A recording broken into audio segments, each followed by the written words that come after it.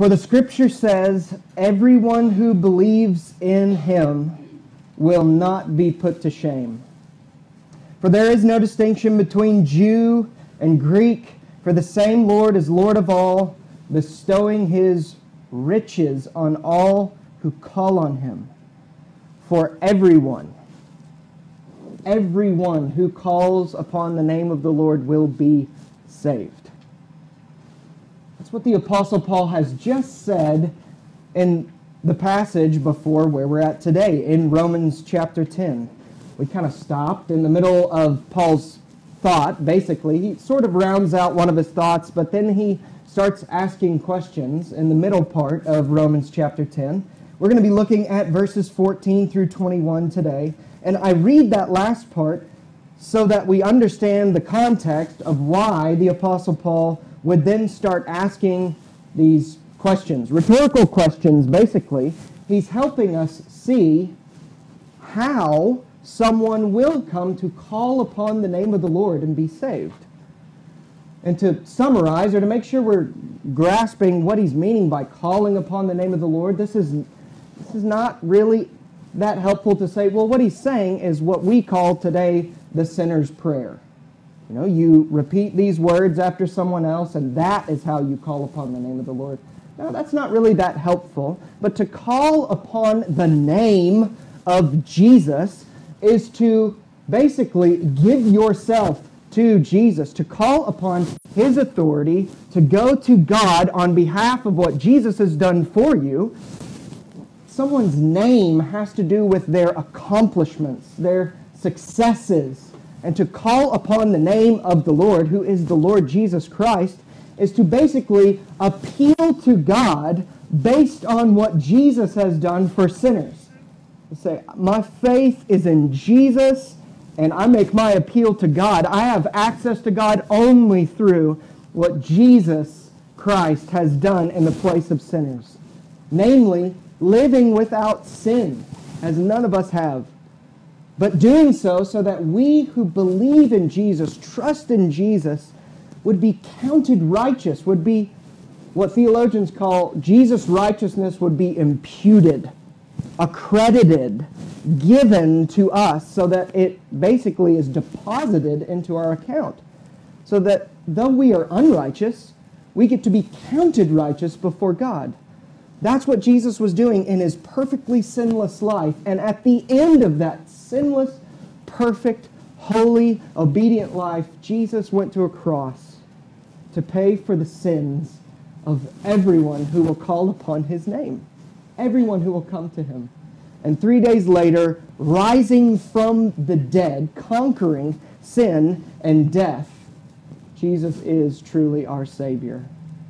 So, calling upon the name of the Lord is hearing the gospel understanding what Jesus has done for sinners, trusting in him, and making, your, making an appeal to God that, for Jesus' sake, accept me. It's not praying a prayer and asking Jesus into your heart, but it's banking everything on who Jesus is and what he's done. That's what the Apostle Paul has just said in this first half of Romans 10. If you were here last week, we, we looked at that in great detail. This great promise everyone who calls upon the name of the Lord will be saved. And I want to present to you in verses 14 through 21 that we see two big things, and then at the end, we'll see that Paul turns again to address the fact that Israel, the Jews, by and large at this time, had rejected the gospel of Jesus. But the two main points that we see here in verses 14 and 15, we see that fulfilling the Great Commission, and I'll unpack what that means. Fulfilling the Great Commission is a group effort.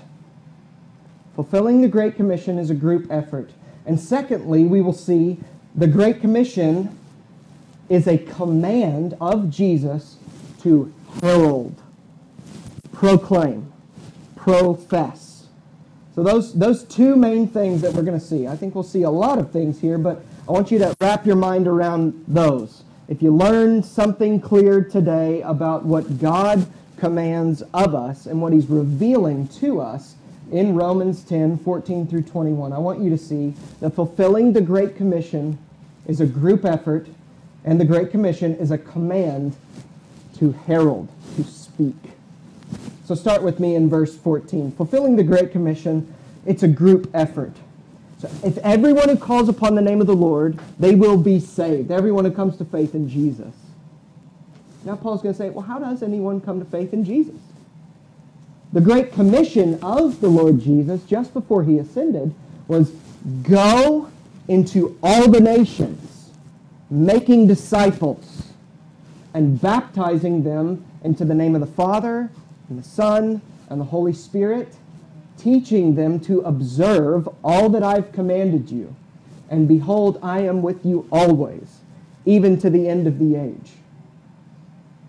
Now, if you grew up in the Bible Belt like I did, you've heard those verses a lot. It's a command, let me remind you, it's a command, it's a commission, it's not the great suggestion. He says, Go. Go make disciples of all nations. So we go preaching the gospel, proclaiming the gospel to people, and everyone who calls upon the name of the Lord will be saved. And then we teach them to observe. We work together to obey, to observe everything that Jesus has commanded us. But in these verses, we see that fulfilling that great commission, it takes all of us. It takes the whole body of Christ. Look at verse 14. How then will they call on him in whom they have not believed? How is someone going to make an appeal to God, basically trust Jesus, and have their standing before God be what Jesus has done for them if they don't believe in Jesus? How will they call upon the name of the Lord to save them if they don't believe in Jesus?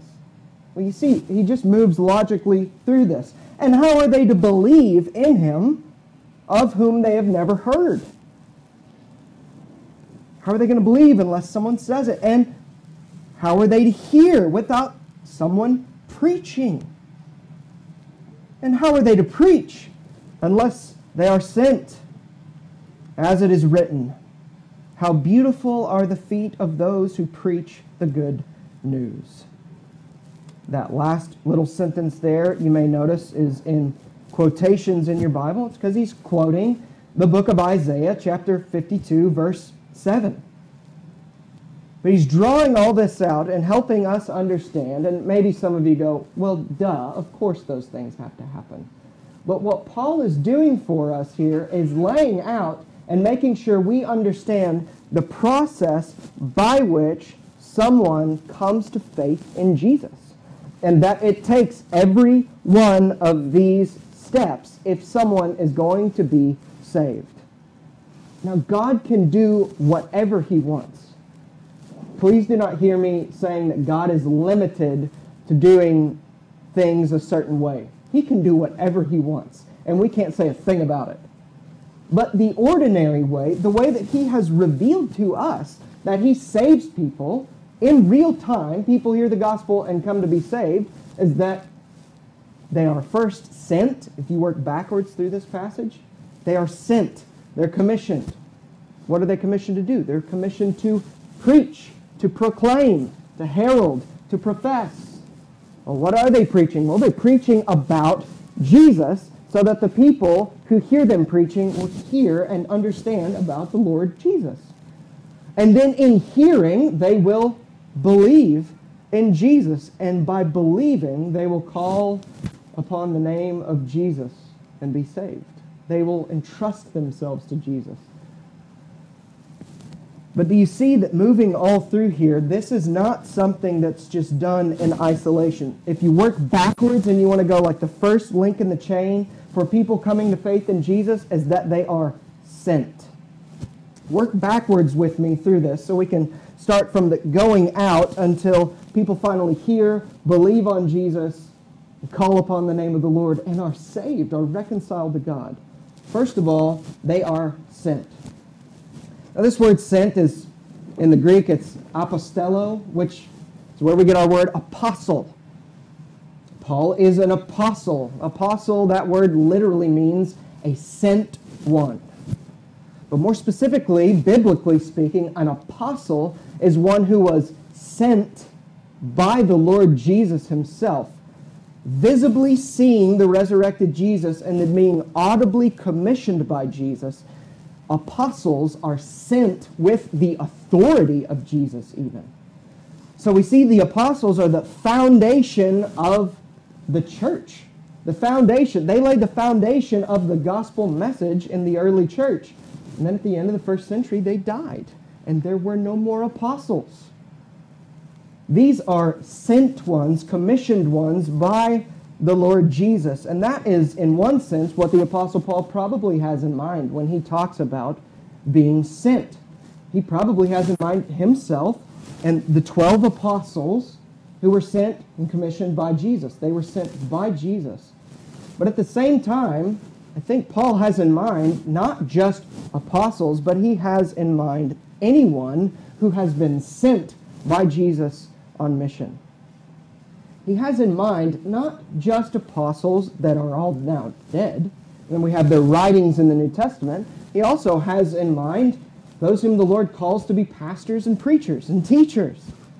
I think he has in mind ordinary Christians as well. And by ordinary, I don't mean that in a demeaning way, but I mean you don't hold any office in the local church. You're not a pastor or a teacher. You may not even lead a community group or teach a Bible study. But every Christian has been sent, has been commissioned by Jesus. Maybe not with the same authority that the Apostle Paul says. But if you remember in John chapter 17, the Lord Jesus is praying the night before his crucifixion. And he prays for all Christians. He even says at one point in his prayer, I'm not praying only for these that are right here, but I'm praying for those who will come to believe in me through these apostles telling them about me. And he says repeatedly through this prayer, Father, as you have sent me into the world, so I send them into the world. I'm sending them on mission. And we know that then, following that, after his death and his resurrection, we get in the Great Commission the command go and make disciples of all nations.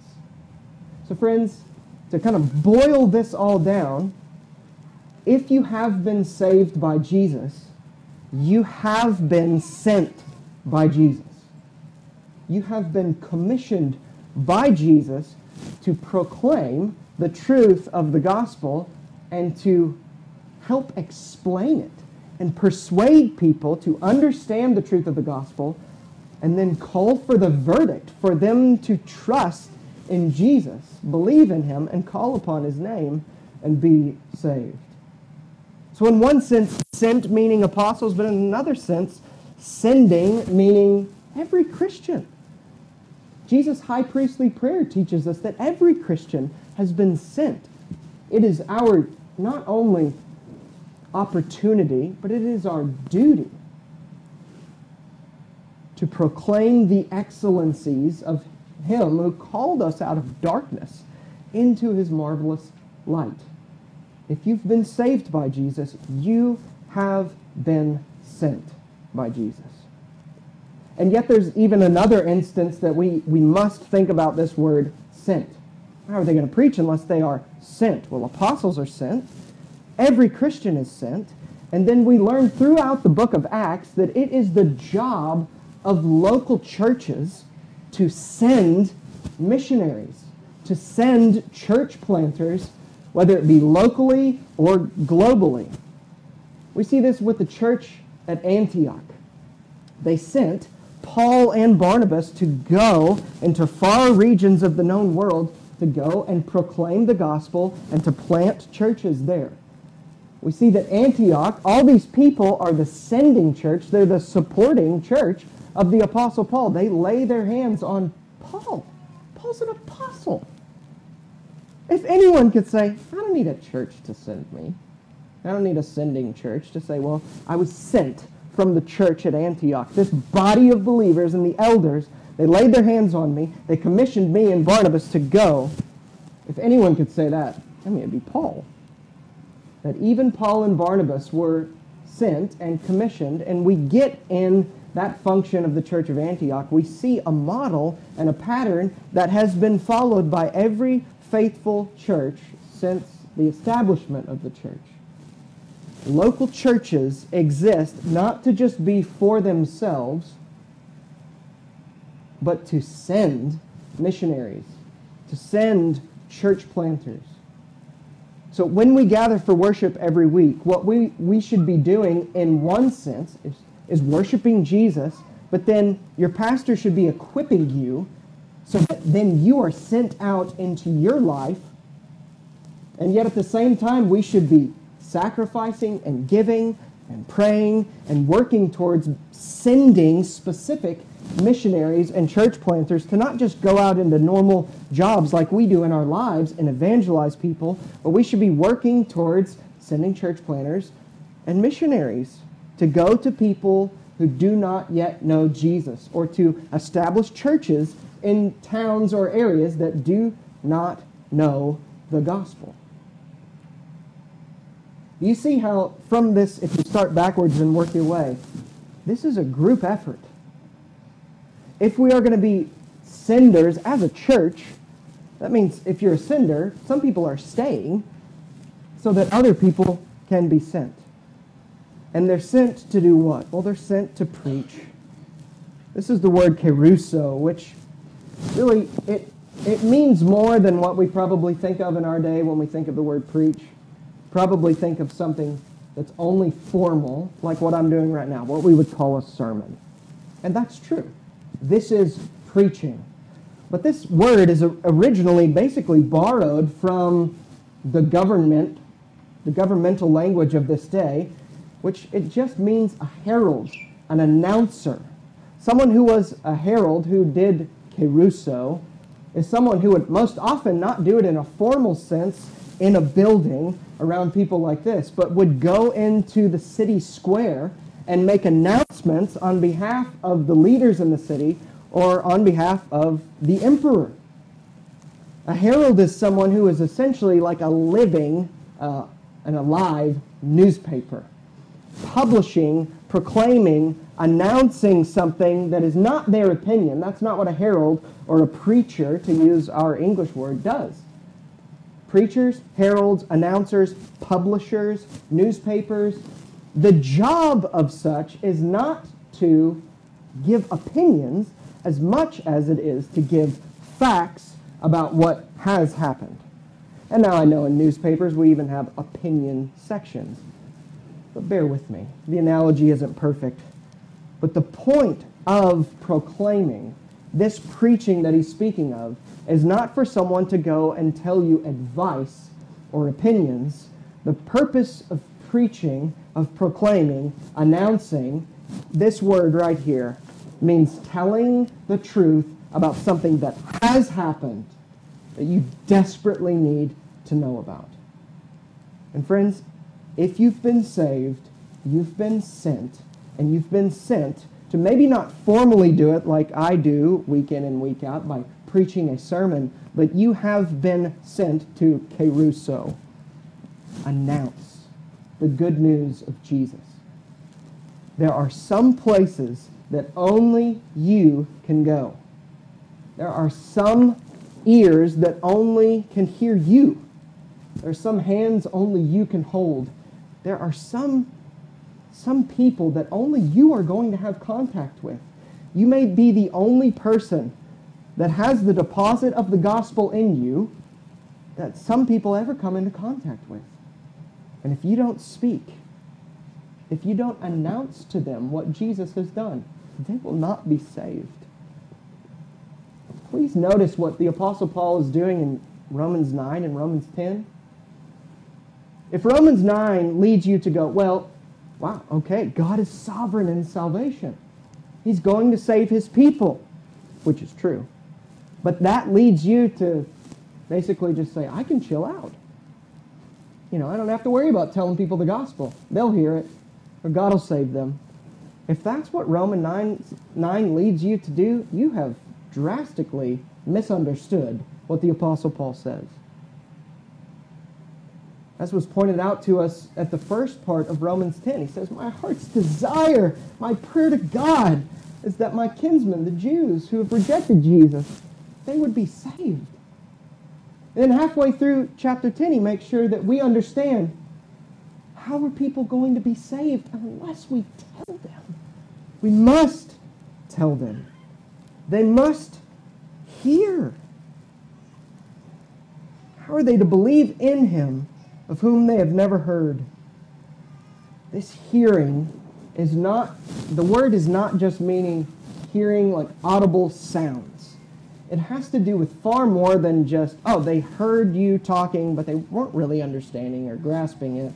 The point is that this word that's translated hearing means someone hearing a body of truth and being able to comprehend what you are communicating to them. It's like in the judicial system when you have a hearing before a judge. What does that mean? You have a hearing where there's a jury.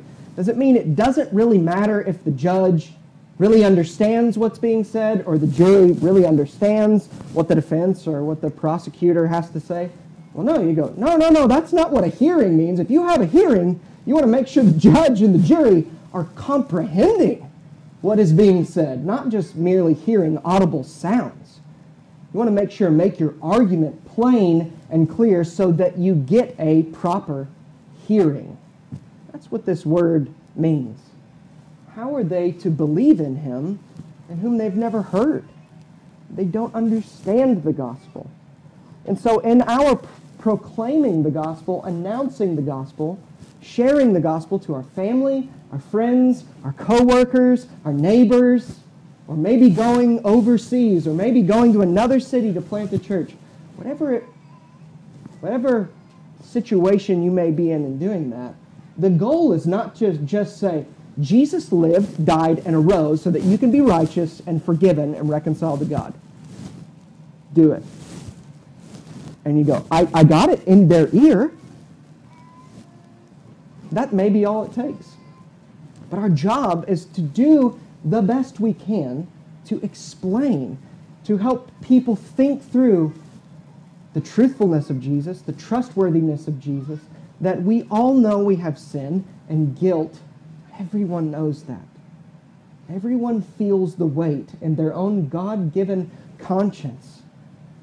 We tell them the truth of the gospel that one came who did succeed so that everyone who comes to him will be reconciled to God. And we try to help people understand what that means. All of this is a group effort. When it comes to fulfilling the Great Commission, friends, to make disciples of all nations, if we follow this link, they have to be sent. They're sent to proclaim. They're proclaiming so that people can hear and understand and in understanding, through the work of God the Holy Spirit, they would come to believe, trust in Jesus. They have to know who Jesus is and what he's done if they're going to come to believe in him. And not just some superficial idea about a Jesus that's not really the Jesus of the Bible. And in understanding who Jesus is and what he's done, then they, in faith, will call upon the name of the Lord and be saved, be justified through their faith in Jesus. It takes all of us. And when it comes to this Great Commission, if we're going to fulfill it, if you're going to be part of fulfilling it, you better be going or sending. Because if you're not a goer or a sender when it comes to fulfilling it worldwide, the only other option is you are disobedient to the Lord Jesus. There are goers, there are senders, and there are those who are disobedient to Jesus. When it comes to world missions, now in your own life, you only have two options. In your everyday life, I mean, at your job, in your home, you're either a goer or you're disobedient. Parents, how will your children come to believe in Jesus and be justified, counted righteous, if you don't tell them the gospel? and not just tell them words, but help them understand it. Will they call upon the name of the Lord if they don't believe? How will they believe if you don't help them hear? How will they hear if you don't tell them? You've been sent. How will the people in your job come to faith in Jesus if you don't tell them? How will your family? I know many of you have family who aren't believers. Don't use the sovereignty of God as revealed in Romans 9 as a crutch for your disobedience or cowardice when it comes to proclaiming the truth. How will they call on him and whom you don't tell them about? They must be told, they must hear.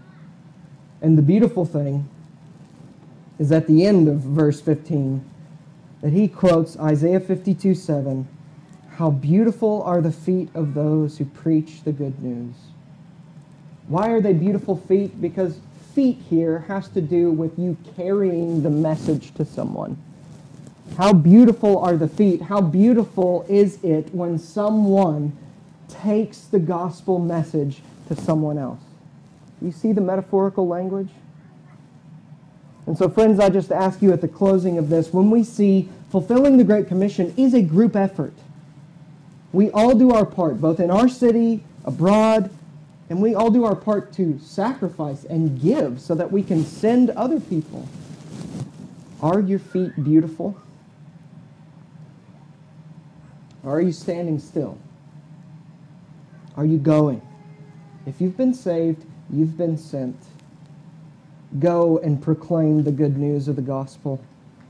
And what is that good news, real specifically? If you know the book of Isaiah at all, you probably know of chapters 52 and 53. Maybe one of the most famous Old passages, Old Testament passages, because it speaks of God sending his servant. And this servant of the Lord shall act wisely.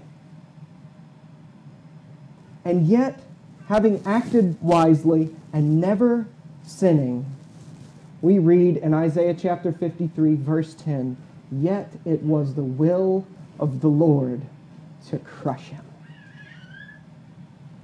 He has put him to grief. When his soul makes an offering for guilt, and then at the end of chapter 53, we read that he will, though, see light and be satisfied. He will, my servant, the Lord says, he will make many to be accounted righteous because he bore their iniquities.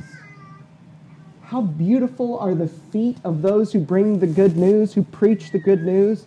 And friends, the good news that we preach is of God's servant, the Lord Jesus, who came and acted perfectly, who acted wisely, and yet, according to the divine plan of God, and willingly did the Lord Jesus do this, he was crushed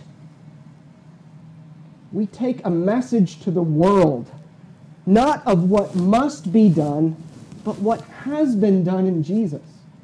Right after this, how beautiful are the feet of those who bring the good news, who preach the good news.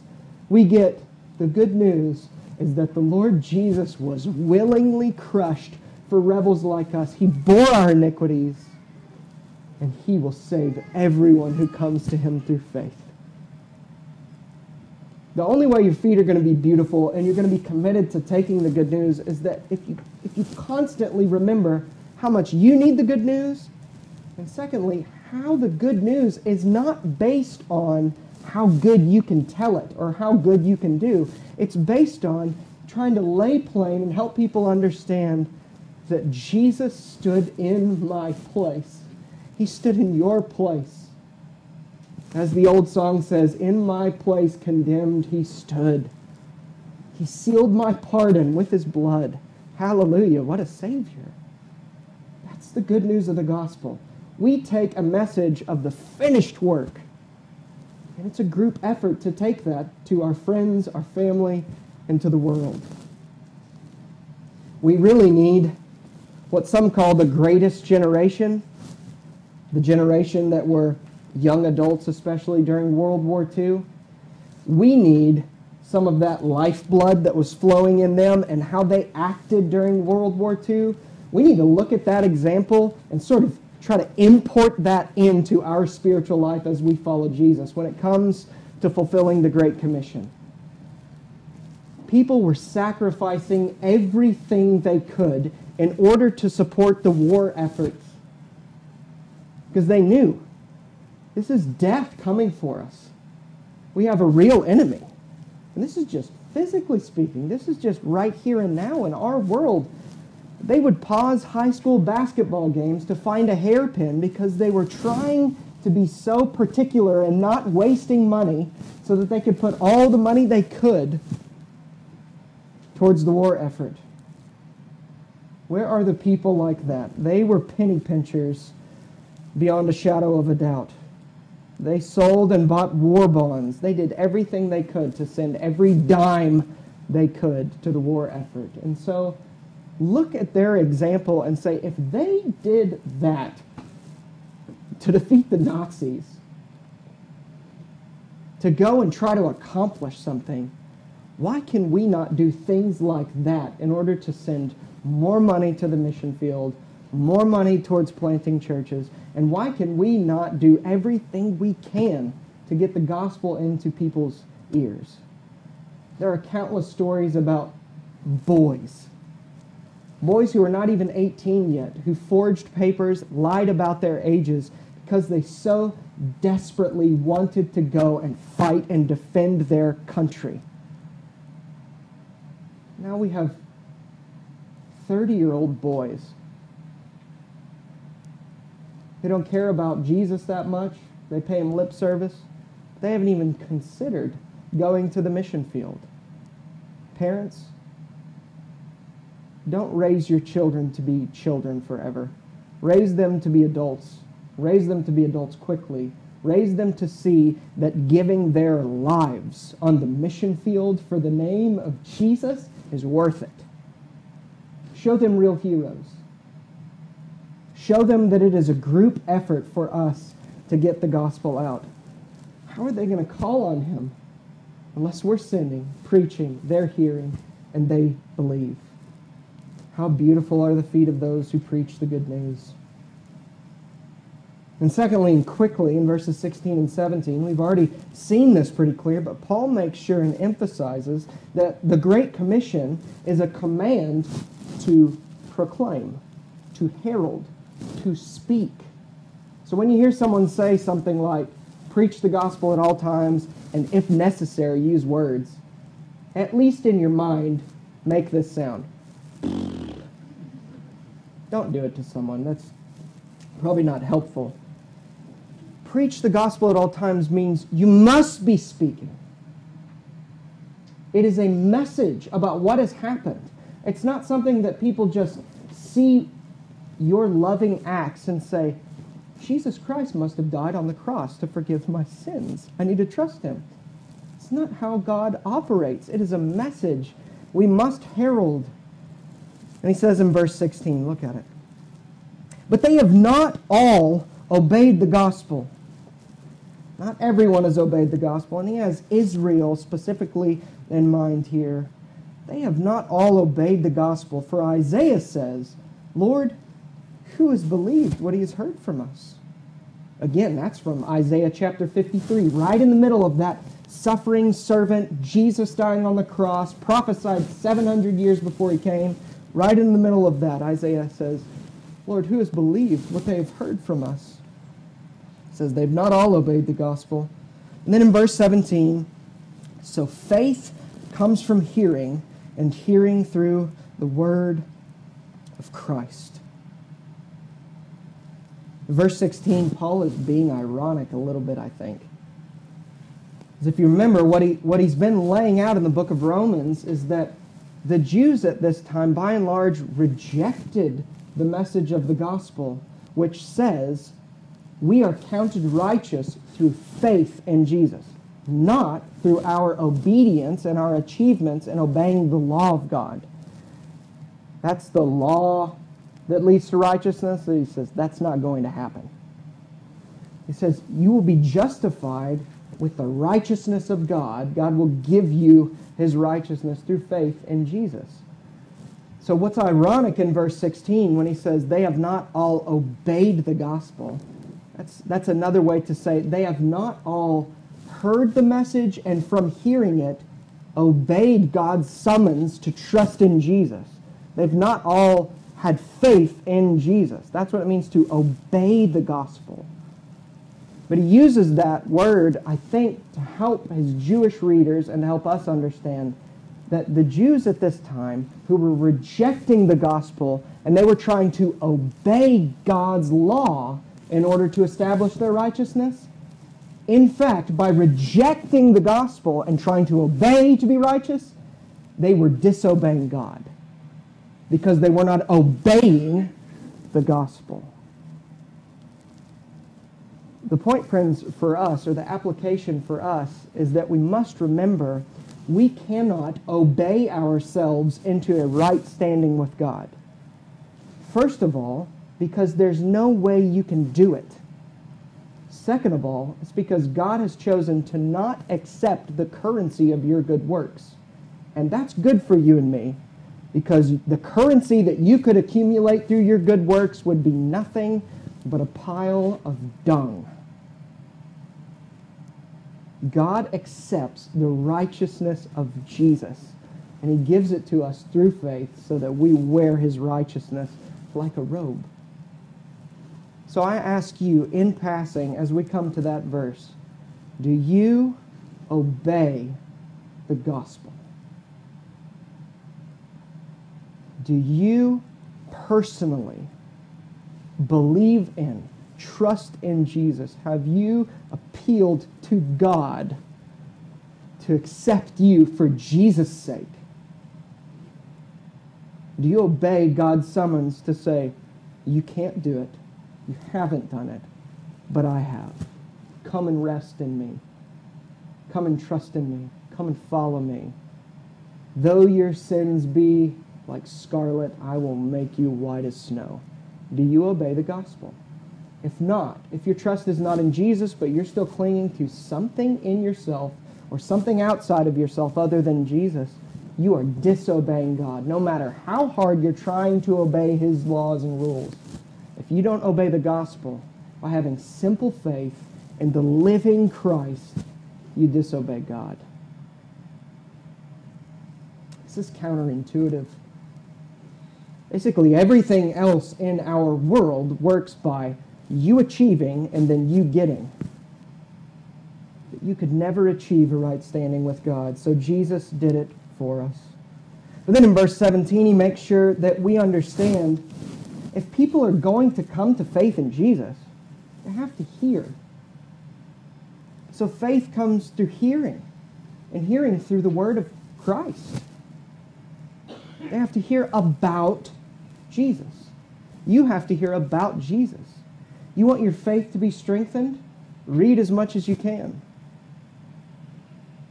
Pray as much as you can gather for worship and sit under the preaching and teaching of the Word of God as much as you possibly can. Faith comes through hearing, and hearing through the Word of Christ. And the Word of Christ, the Word about Christ, the gospel message is revealed in the Bible. Go to the Word. That's how faith comes. You want your friends to come to faith?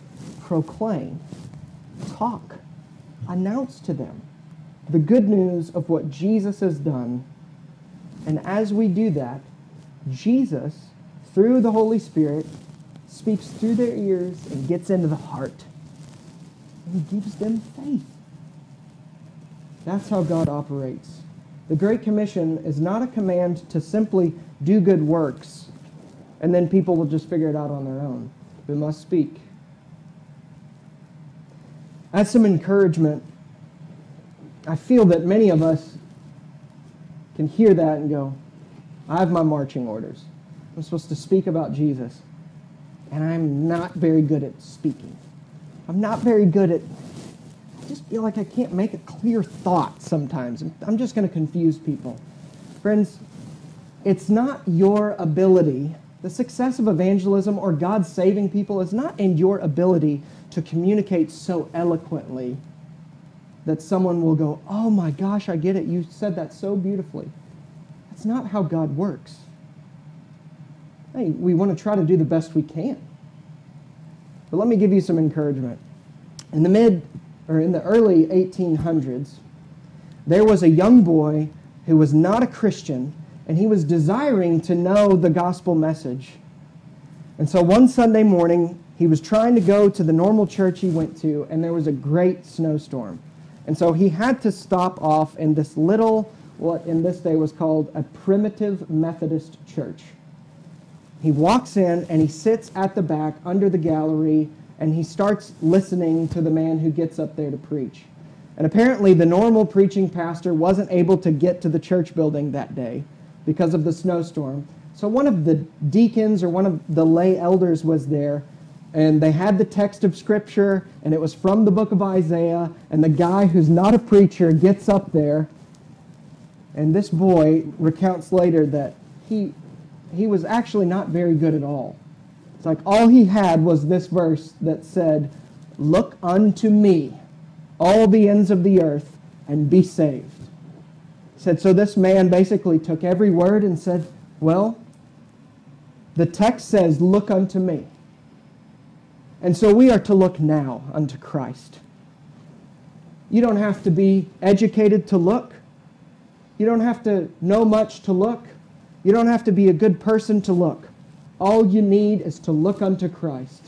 And he says, Look unto Christ, all of you. And this guy is just like, saying the same thing over and over. And towards the end of this little, what was apparently a pretty much struggling sermon, he looks back and sees this boy and says, Young man, I see that you are quite miserable, and you will be miserable for eternity unless you obey my text. And this boy, at that time, who, who had been trying to understand how to be saved through this man who he never even learned his name, he heard the message of the gospel that Jesus is enough. Look to him, trust in him, and you will be saved. And God saved him. His eyes were opened. He said, It's, it's like heaven opened up, and I understood. It was looking to and trusting the Lord Jesus. This man was the most influential preacher in the 1800s, and his name was Charles Haddon Spurgeon. He was converted under someone that we don't even know his name, who was probably one of the worst preachers you could imagine. But all he did was say, This is what God says. Jesus is enough. Look to Jesus, and you will be saved. Are you willing to do that? God can draw straight lines with crooked sticks like you and me. Tell people about Jesus. Call them to come to faith in him. Lastly, Paul turns to readdressing the fact that Israel, the Jews at this time, are rejecting the message of the gospel. He's just said, well, people need to hear. And then in verse 18, look with me as we finish out this passage. But I ask, have they not heard? Indeed, they have. For their voice has gone out to all the earth, and their words to the ends of the world. What Paul's saying in quoting Psalm 19:4, he's saying that to the Jewish people at this time, the gospel message has come to him. They have heard. They've heard it. It's not that there is a, a missing link in the chain as far as sending, preaching, hearing. Paul spent his days when he went to evangelize all throughout the known world at this time not only preaching, but it says that he was persuading with them, he was reasoning with them. And he always went to the Jewish synagogues first. He went to the Jews. They have heard.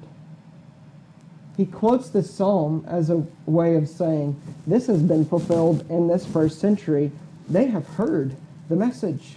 Their voice has gone out to all the earth, and their words to the ends of the world. And then he quotes another passage. But I ask, did Israel not understand? From Moses, first, Moses says in Deuteronomy 32 21, I will make you jealous of those who are not a nation. With a foolish nation, I will make you angry. Now we have to keep reading and understand in order to understand what he's getting at. Like that doesn't seem like an answer to the understood. But all three of these next verses go together. In verse 20, he says, Then Isaiah is so bold as to say, in Isaiah 65 1, I have been found by those who did not seek me.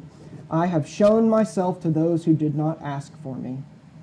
He's talking about in those passages that with the Jews rejecting the gospel at this time because they wanted to obey themselves into a right relationship with God, God has set them aside and he is saving non Jews, Gentiles. Paul's helping us see why at this time in the first century, Gentiles like you and me were running into the kingdom. We're embracing Jesus. We're trusting Jesus. And Paul is pointing out that because the Jews at this time would not submit to the righteousness of God through faith, God was saving Gentiles instead and making them jealous through saving these people, even those who did not seek him. I've shown myself to those who do not ask for me. And then in verse 21, but of Israel. This is the explanation for why he's saving Gentiles. But of Israel, he says, all day long I have held out my hands to a disobedient and contrary people. This is what broke Paul's heart. This is why he said, I wish that I could be accursed. If, if my kinsmen, if my Jewish brothers and sisters could be saved. And in the ending of this passage, friends, you must be reminded and you must be challenged. So must I. God is holding his hands out to you. Do not use the sovereignty of God and salvation as a crutch for your disobeying the gospel. You are responsible to come to Jesus, to embrace the good news, to receive him through faith. He says all day long, I'm holding out my hands, saying, Come, come to me. All who call upon me will be saved. So, children, come to Jesus. The Lord is saying, Come, come now. Trust in me. Trust in my cross. Adults, the Lord is holding out his hands to you. Don't be a disobedient and contrary people. Don't be thrust aside because you refuse to obey the gospel. Obey the gospel and trust yourself to Jesus. Call upon the name of the Lord, and you will be saved. Don't let it be true of you what was true of these Jews in the first century. That hearts would break because you want to be disobedient and contrary to the way God saves people. You cannot be good enough. And the good news is that you don't have to be. Come to Him, embrace Him, and all who come to Jesus will not be put to shame. He's the suffering servant. He suffered for us. We entrust ourselves to him. Pray with me. Father God, apply to our hearts what we have seen in your word today. Give us courage and strength and boldness to go together as a group effort and make disciples of all nations. Help us to pinch pennies. Help us to wear out before we rust out. Help us to give everything we can to obeying you.